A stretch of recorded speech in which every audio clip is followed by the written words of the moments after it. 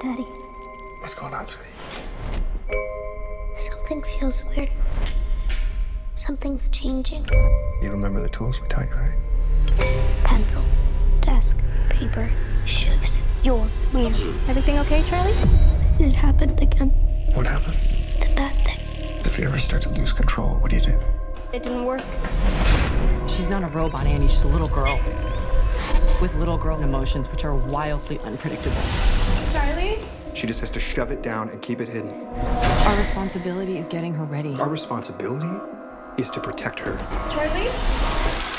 If they catch her, they're gonna put her in a cage. Charlie? They're gonna run tests on her for the rest of her life. We'll never see her again. If who catches me? Something's happened. And I need it handled with discretion. And I need her back alive. Holy shit. Do you know what it means to be on the run? Bad men are after us. Really bad. I hate living like this! You're special, Charlie. I'm not special, I'm a monster! Charlie! I want to help her. You want to use her. Charlie? Don't be stupid. Where's mommy? Do you feel that? Let her go or it's gonna get a lot worse. Where's mommy? Tell me now! She's the first of her kind. A real life superhero. You need to understand how to use it.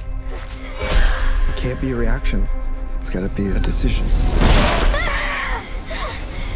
That's the only way that you can control it. She's becoming a young woman, I'm not going to jail. and someday soon You're gonna change the world. she may be capable of a nuclear explosion. Run, Charlie! On your knees! Simply with the force of her mind. the whole world going to hell. Promise me that you'll never use your gifts to hurt people.